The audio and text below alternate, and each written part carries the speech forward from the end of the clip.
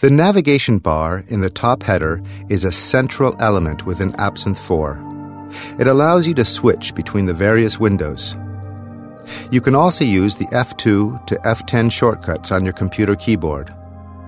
All these windows and their functions will be explained in more detail later on. On the right, you can see Absynth 4's most important functions and the different status displays of your CPU, as well as your configured in and outputs. On the left, you can access the File menu. Click on Options and choose the Surround tab to take a look at Absynth's surround configuration possibilities.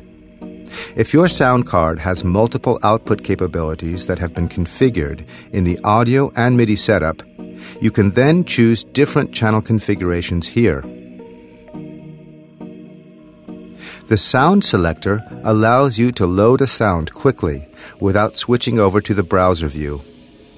Just click on it and select your sound or use the Load Next or Previous buttons and play a note.